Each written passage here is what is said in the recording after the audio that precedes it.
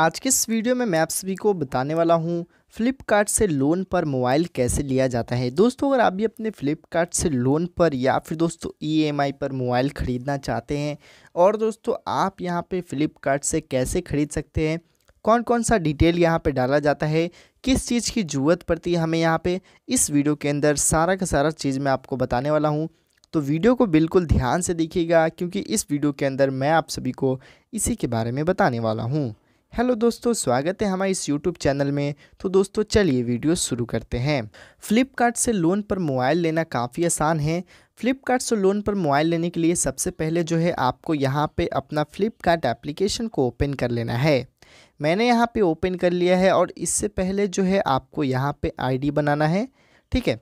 और आईडी बनाने के बाद जो है आपको यहाँ पे अपना फ्लिपकार्ट के अंदर आना है और यहाँ पे जो है आपको सर्च बार का ऑप्शन दिखता है। ऊपर की साइड में यहाँ पे इस पर क्लिक करना है। यहाँ पे सर्च बार के ऑप्शन पे क्लिक कीजिएगा तो आपको कोई सा भी यहाँ पे प्रोडक्ट सर्च करना है, जो भी आपको ईएमआई पर लेना है। काफ़ी लोग जो है ईएमआई पर मोबाइल ही लेते हैं तो मैं यहाँ पे मोबाइल ही सर्च कर लेता हूँ। काफ़ी सारा मोबाइल यहाँ पर आ जाता है। अब जो है आपको यहाँ पर आपका कोई सा भी एक मोबाइल सेलेक्ट करना है, ठीक है? जैसे कि ये मोबाइल मैं यहाँ पे लेना चाहता हूँ, ठीक है? तो मैं सिंपली यहाँ पे जो है इस पर क्लिक करता हूँ और ये हमारा मोबाइल आ चुका है, ठीक है?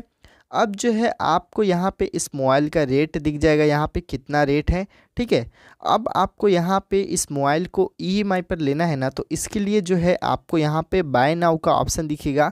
इस पर क्लिक करना है। यहाँ पे जैसे ही क्लिक कीजिएगा तो दोस्तों आपके सामने कुछ इस प्रकार का इंटरफेस दिखाई देता है। यहाँ पे जो है आपके सामने यहाँ पे आपका पेमेंट आ जाता है और नीचे स्क्रॉल कीजिएगा तो दोस्तों यहाँ पे जो है आपका डिलीवरी चार्ज कितना प्राइस है वो यहाँ पे दिख जाता है। अब जो है आपको यहाँ पर क्या करना है कंटिन्यू वाला बटन पे आपको क्लिक करना है, फिर आपके सामने पेमेंट का ऑप्शन आता है। जी हाँ दोस्तों, यहीं पे काफ़ी लोगों का प्रॉब्लम है। अब यहाँ पे जैसे आइएगा ना तो दोस्तों काफ़ी सारा पेमेंट यहाँ पे आपको देखने को मिल जाएगा।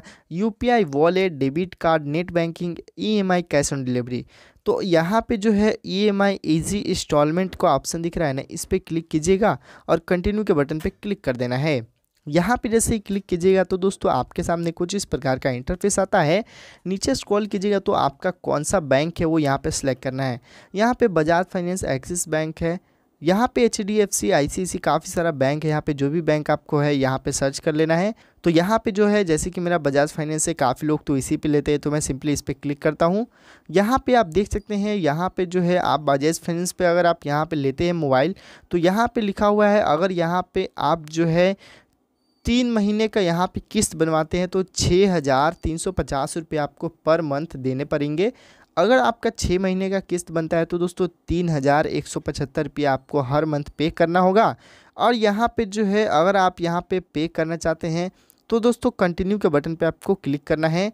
यहाँ पे क्लिक कीजिएगा तो दोस्तों आपके सामने कुछ इस प्रकार का इंटरफेस आ जाता है। अब जो है, आपको यहाँ पे अपना कार्ड नंबर डालना है। फिर जो है, आपको वैलिडिटी डेट डालना है। यानी दोस्तों आपको एक्सपायरी डेट डालना है अपने कार्ड का। फिर सी नंबर डालना है। सी नंबर कहाँ पे होता है? तो आई के बटन पे क्लिक कीजिएगा। और यहाँ पे जो है आपके कार्ड के पीछे जो है यहाँ पे सी नंबर होता है। इसको यहाँ पे आपको डालना है। फिर कंटिन्यू के बटन पे क्लिक कीजिएगा। तो दोस्तों, यहाँ पे जो है आपका मोबाइल ऑर्डर हो जाएगा। और यहाँ पर आपका हर महीने किस्त आपके बैंक अकाउंट से कटता रहेगा।